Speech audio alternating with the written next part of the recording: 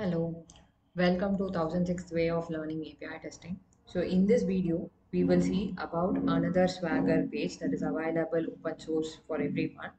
So it's called the Pet Store. You can just go to Google and search it as uh, Pet Store Swagger and you will be uh, navigated to this link. So before we start off with any of the uh, APIs within Pet Store Swagger, I'll just show you one more thing. So for this particular Swagger JSON, so when I click and open this JSON, which is having a lot of more, uh, as I mentioned, how to find out the attributes or the values that you have to give to the query parameter. So this is like very clumsy. So in this case, generally what I do is like, uh, I try to copy this entire thing. Uh, just go on, click Control A, Control C. Okay. Uh, go to Notepad. Okay. Create one new uh, new file and then paste it. So anyhow, it is going to look like this.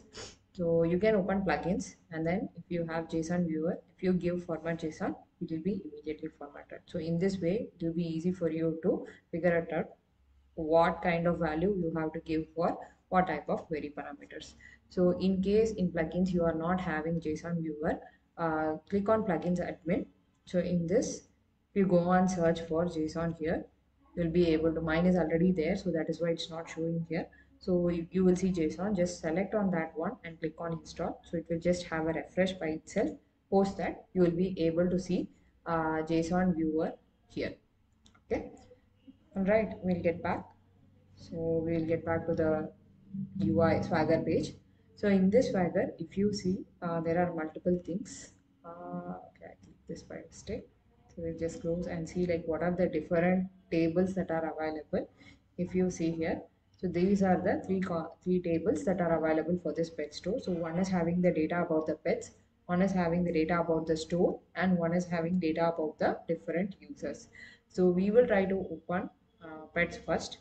So in this pets, if you see, if you see there are different uh, no uh, request types that are uh, you are able to see it here. So first we gen we the previous swagger we saw only get methods so here you are seeing post and delete as well.